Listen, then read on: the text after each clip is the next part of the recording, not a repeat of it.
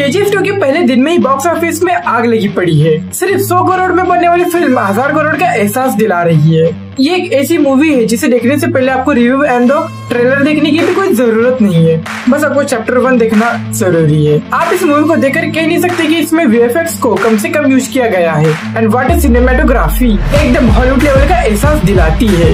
movie